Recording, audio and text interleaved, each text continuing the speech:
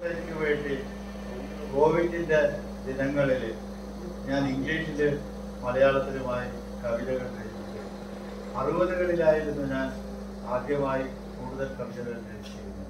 എന്നാൽ പിന്നീട് അത് ചരിത്രപരമായ ഗവേഷണത്തിനിടയിൽ ആ പാത വിട്ടൊഴിയുകയും കോവിഡിന്റെ കാലഘട്ടത്തിൽ വീണ്ടും ആ പാതയിലേക്ക് സഞ്ചരിക്കുകയും ചെയ്തു. ഈ കവിതയുടെ പേര് വർഷ മേഘങ്ങൾ എന്നാണ്. ജീവിത ദുഃഖങ്ങളുടെയും വിരസതയുടെയും കറുത്ത മേഘങ്ങൾ ഉരുണ്ടുകൂടുന്നു. അവ വർഷമേഘങ്ങളായി പെയ്തിറങ്ങുന്നു ദിനരാത്രങ്ങൾ വർഷങ്ങളായി പൊഴിയുന്നു. വിദ്വേഷത്തിന്റെയും നീരസത്തിന്റെയും അമ്പുകൾ എന്നിൽ മുറിവേൽപ്പിക്കുന്നു. ഞാൻ നൽകുന്നതൊന്നു മാത്രം വസന്ത പൂമ്പാറ്റകളുടെ ചിറകടി. അവ വാർത്താകലകുമ്പോൾ നിഴലുകൾ വീഴുന്നു. സന്ധ്യകൾ ഏകാന്തതയിൽ ചേക്കേറുന്നു വീണ്ടും വർഷമേഘങ്ങൾ കറുത്ത പുടവകൾ ചുറ്റി നീലാകാശം കണ്ണീർ ചൊരിയുന്നു. ആഷാഢത്തിന്റെ സന്ദേശവും വിഫലതയും ജീവിതം രൂപപ്പെടുത്തുന്ന ദിനരാത്രങ്ങൾ.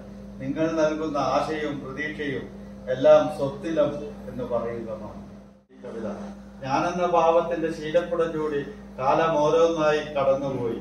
കൊടും വർഷത്തിന്റെ ശീൽക്കാലവും കേട്ടു. നീർച്ചാലുകൾ പൊട്ടിച്ചിരിക്കുന്നു. ഇടിനാദങ്ങൾ വേരുമുഴക്കുന്നു. എന്റെ പുൽക്കുടിൽ തണുത്തു വിറയ്ക്കുന്നു ചൂടിന്റെ ജ്വാലാമുഖിയെ തേടി മനസ്സെന്നും വിഭ്രമം കൊള്ളുന്നു. മനസ്സെന്നും വിഭ്രമം കൊള്ളുന്നു. ഒരുപക്ഷെ കോവിഡിന്റെ കാലത്തിൽ മനസ്സ് വിഭ്രമം കൊള്ളാത്ത ഒരൊറ്റ ആളും ലോകത്തിൽ ഉണ്ടാകുമെന്ന് തോന്നില്ല എങ്കോ കത്തിച്ചിരിക്കുന്ന ആകാശത്തിൽ മിന്നലുകൾ മാത്രം വരയ്ക്കുന്നു. നൃത്തം ചവിട്ടുന്ന കാറ്റിൻ ചിലങ്കകൾ താണ്ഡവം വീണ്ടും വീണ്ടും നടത്തുന്നു. എന്റെ ശീലങ്ങൾ ഭാവങ്ങൾ ചിന്തകൾ നഷ്ടപ്രശ്നമായി തീരുമ്പോൾ സന്ധ്യയെ വന്ദിച്ചാലും നിന്റെ പുഞ്ചിരി വിരിഞ്ഞ സുന്ദരമുഖത്തോട്.